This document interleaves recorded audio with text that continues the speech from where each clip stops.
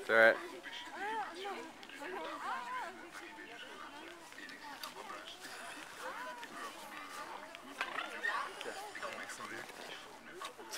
And the upper bowl's untouched. How many Americans do you think have been here this year? Ten. Maybe.